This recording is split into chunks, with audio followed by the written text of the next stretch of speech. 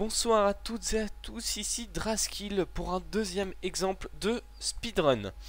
Alors, je vous avais montré le speedrun, le speedrun de groupe pour euh, choper du farm et pour farmer euh, du stuff.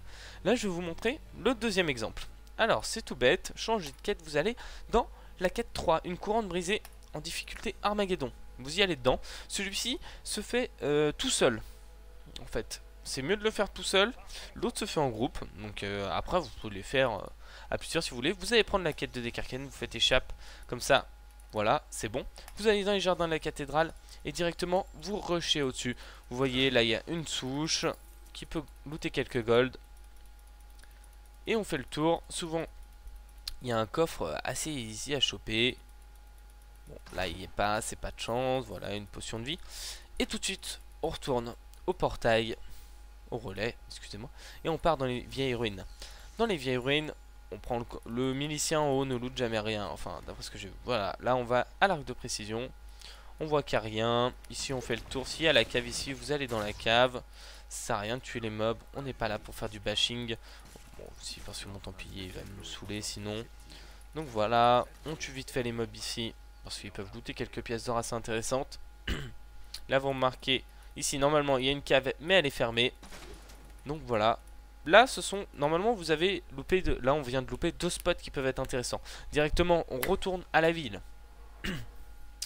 on court, on court, on court. Et puis, on va faire la, quête de, la quête de Edrig Emon.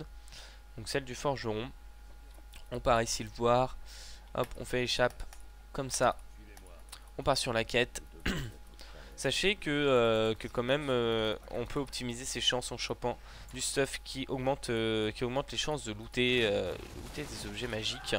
Découverte d'objets magiques, vous recherchez dans le dans le dans le comment ça Oh mini lag.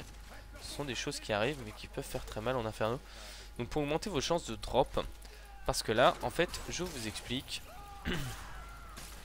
là on tue vite fait les mobs, et là tout de suite on arrive sur On fait espace pour que ça aille plus vite La discussion, on met un petit piège Moi j'ai mon... Et là on va tuer Mira Emon, donc c'est pas dur, elle est, euh, c'est un mob, euh, c'est un mob violet, euh, c'est AFK auto shot hein, pour moi. Voilà, j'ai fait la quête, non je ne quitte pas, je prends les objets, je fais échappe, j'ai gagné portail de retour de ville. Et tout de suite on quitte, parce qu'en fait pourquoi quitter dans la ville?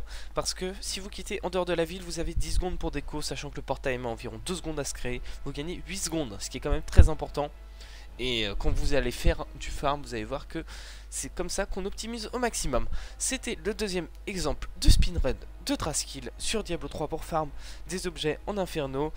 N'hésitez pas à poser des questions, à si vous avez des idées comment l'optimiser dans les commentaires, n'importe quoi, enfin allez-y. Je vous invite à vous abonner à ma chaîne et à like ma page Facebook, facebook.com slash Allez, à une prochaine